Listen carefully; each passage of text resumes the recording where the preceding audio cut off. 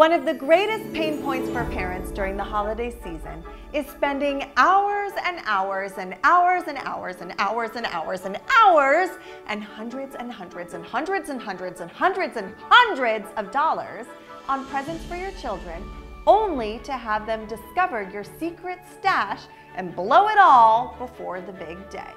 But I have a bunch of awesome places to hide your gifts that I can guarantee you your family is never gonna look in. One great way to hide your kids' gifts is to hide them in plain sight. Simply put them in a cardboard box and then label it with something your kids hate, like homework or broccoli or homework and broccoli. That'll really keep them away. One great place to hide gifts is in the bottom of the laundry basket.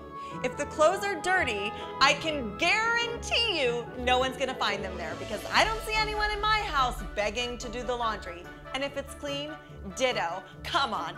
A thing of laundry can sit there for months in my house without anyone touching it. Another great place to hide gifts is in your cleaning supply closet. I mean, when was the last time anyone in your house scrubbed the toilet? Except for you. You can also place small gifts in an underwear drawer. Because ew. A trash bag is a great place to hide multiple gifts because you have to beg and plead to get anyone to take out the trash anyway, so I can guarantee nobody's gonna go near this. Just make sure you don't throw it out by accident. Ho, ho, ho!